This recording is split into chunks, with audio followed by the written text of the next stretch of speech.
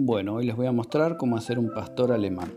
Tomamos la medida de una oreja que va a entrar tres veces a lo largo del perro. Por eso vamos a dividir la hoja en tres. La primera parte la dividimos en dos para ubicar los ojos. Y a la altura de los ojos nace la oreja. Y a la altura donde empieza el ojo termina la oreja.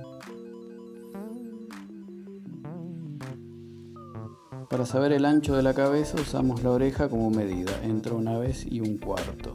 La boca empieza donde termina la primera medida y el morro está un poco más arriba.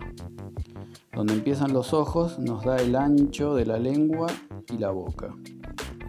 El pelo lo vamos a trabajar en bloque, por grandes mechones, no pelito por pelito. Termino algunos detalles de la boca y en el próximo video lo sombreo con lápiz. Así que